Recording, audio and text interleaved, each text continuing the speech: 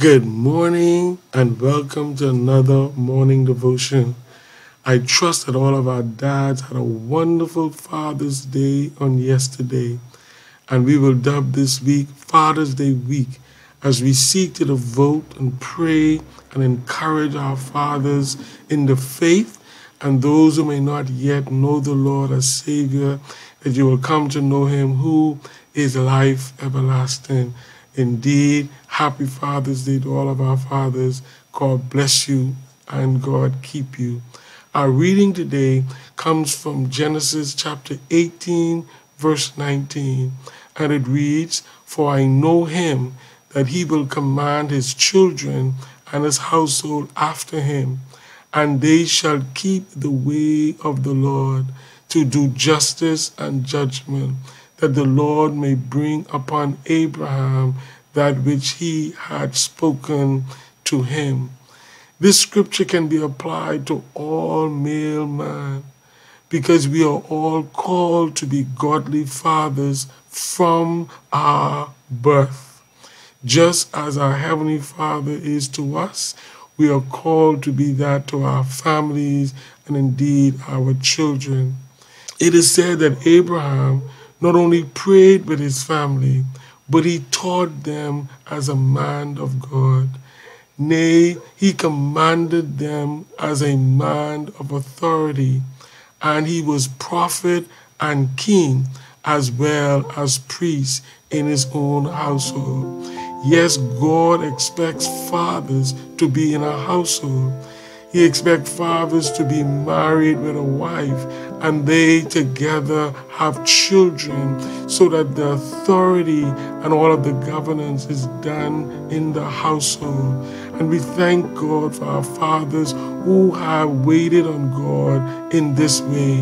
But we know some of our fathers have children outside of the household. God still expects you to be godly to them. And it's going to be difficult, but nevertheless, you have allowed it, and so God expected. And we thank God that we have an example from God Himself. And He called us as fathers to be prophet. Yes, we need that word from God for our families. We need the word of God to keep our families going according to the will of God. We also called to be priests. That means we must be before God on behalf of our families. All of those difficult situations in our families, we just need to go to God and ask for direction. And He also called us to be king. We must provide. We must have full domain over our household. Yes, we must command them according to the word of God. And when we do that, God will do the rest. Yes, fathers, during this week, we seek that we will heed to the voice of God and we will seek God to be better fathers. And we give thumbs up to fathers who are doing their best. And we say, continue. And those fathers who are struggling, we say, God got you. Just put our trust in Him, and you will be the godly father that God has called you to be. Let us pray. Father, thank you for the gift of fatherhood. And we praise you for those who lead the nations that are fathers, that they will continue to look to you as Abraham did. We pray for the medical professionals. We pray those who are leading in this fight against this dreaded disease, that they will indeed lead according to your will as fathers. Thank you for those who lead in the body of Christ as fathers. We pray a blessing continually. Now we ask that you will heal the sick this morning.